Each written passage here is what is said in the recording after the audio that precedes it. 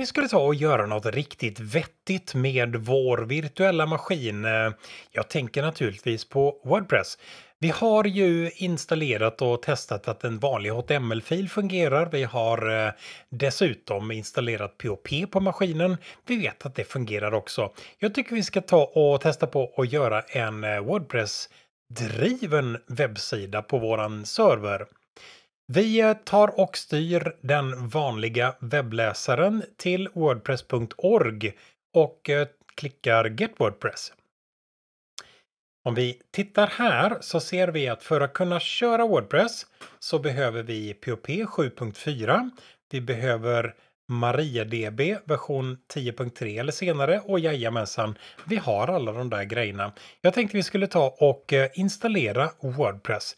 För att göra det så har vi ju i dagsläget ingen koppling mellan vår fysiska dator och våran virtuella dator. Vi har ingen koppling mellan host och guest där vi kan överföra filer. Så jag tänkte att vi tar och eh, använder vår virtuella dator för att hämta hem paketet som utgör Wordpress. Vi hovrar över eh, knappen där det står Download Wordpress och tittar längst ner till vänster i bilden vad det står där. Länken går till eh, http wordpress.org latest.zip. Den ska vi hämta hem. Vi eh, tar oss till webrotkatalogen och skriver veget https wordpress slash latest.zip. Veget är ett eh, litet program som helt enkelt används för att ladda ner filer med. Och eh, filen som vi vill ladda ner heter wordpress.org latest.zip. Trycker på enter. Vi laddar ner Wordpress och där är Wordpress färdigt. Det här är en zip-fil så den vill vi ju kunna packa upp. Jag behöver installera programmet unzip för att kunna packa upp den här zip-filen. Jag skriver eh, apt install unzip. Trycker på enter. Just jag har eh, pillrat lite i bakgrunden så jag hade faktiskt programmet Unzip redan installerat men eh, du har det troligen inte. Så jag använder mitt eh, fina kommando, mitt fina alias D. Om vi vill veta vilka alias som finns så kan jag skriva alias och se att jag har ett alias D som betyder ls minus a eller minus minus color. Jag eh, trycker på D och ser att jag har laddat hem filen latest.zip. Den vill jag packa upp. Så jag skriver unzip latest.zip. Latest.zip är en zip-fil innehållande massvis med filer som tillsammans utgör Wordpress och eh, nu har vi laddat hem alla filerna och packat upp dem. Vi kan väl titta på hur filstrukturen ser ut nu. Filen latest.zip behöver jag inte så jag skriver rm latest.zip för att ta bort den. Kan titta på min fillistning igen och ser att rm gjorde att jag deletade filen. Jag har en mapp som heter Wordpress som eh, i dagsläget ägs av Rot.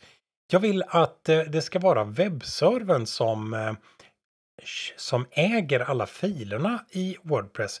Så jag skriver change owner Owner som ska vara är databasanvändaren som i Debian-världen heter www-data. Gruppen som den här ingår i heter www-data, även den. Change own www-data och www-data. Det här ska gälla för alla filer. Jag vill rekursivt gå ner i strukturen och sätta den här ägaren på alla filer. Så jag skriver minus stora R som betyder att den gör det hela rekursivt. För vad ska den göra? Jo, Wordpress-mappen. Så Change Owner, www-data, kolon, www-data för att sätta ägare och grupp på alltihopa. Minus R för att göra det rekursivt ner i filstrukturen och det hela ska gälla för Wordpress. Jag trycker på Enter.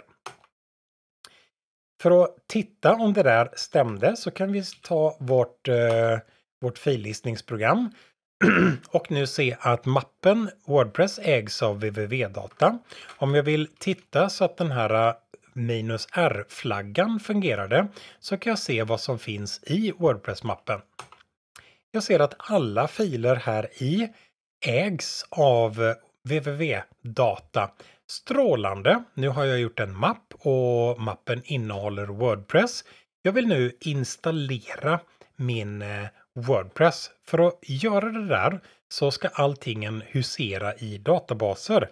Jag skriver MySQL. Show Databases och ser vilka databaser som nu finns. Jag vill göra en ny databas som heter Wordpress och ska lagra allting som har med Wordpress att göra. Jag skriver Create Database och namnet på databasen Wordpress. Observera nu att eh, som vi ser av eh, kommandoprompten så befinner jag mig nu i MariaDB, inte i någon terminal utan i MariaDBs databas. Create Database Wordpress. Trycker på Enter.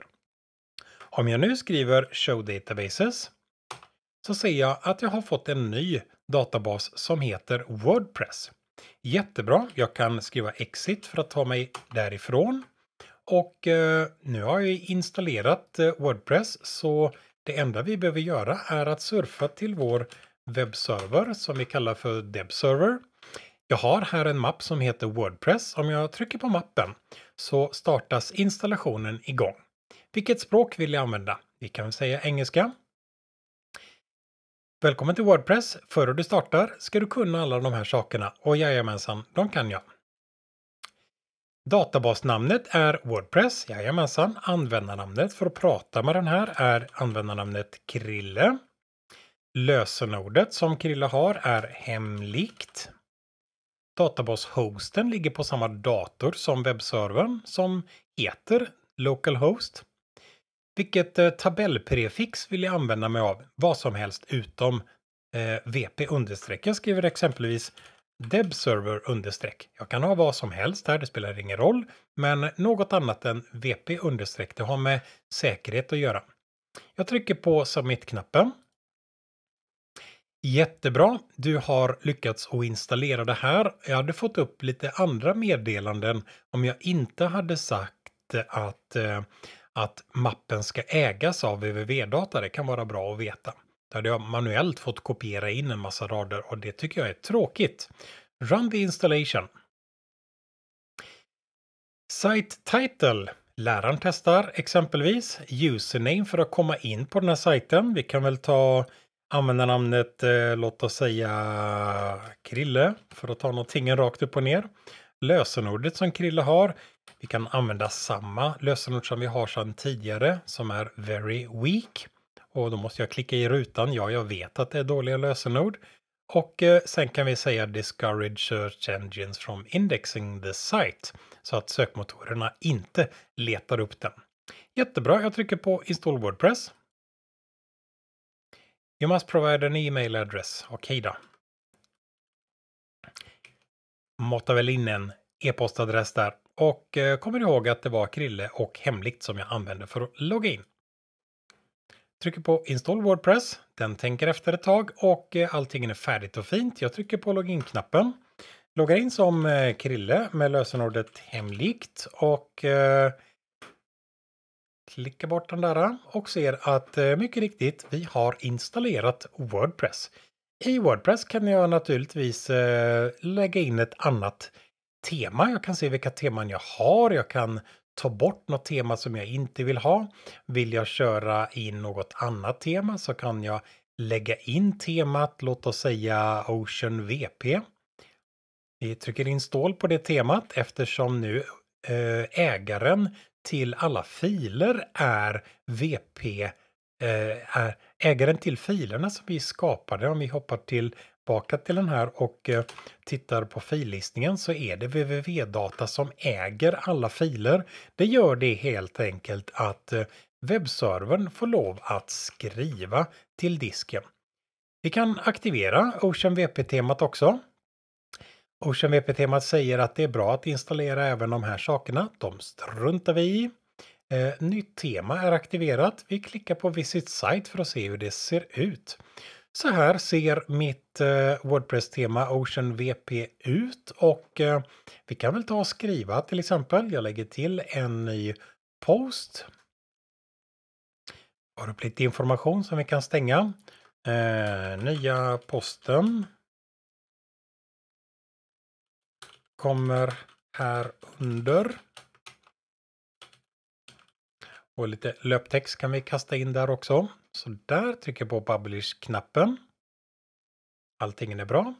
Kan väl surfa tillbaka till våran webbsida igen. Läraren testar och eh, Visit Site. Och eh, här har vi då nya posten som vi har eh, precis skapat. Jag kan klicka Continue Reading i den här eh, temat för att läsa den här nya posten. Jag kan göra allt möjligt som jag kan tänka mig vilja göra på en eh, Wordpress-sida. Så på det sättet så kan vi installera Wordpress på våran virtuella maskin och eh, i och med att eh, nätverkskortet är insatt till Bridged Network så är den här servern en del av världen.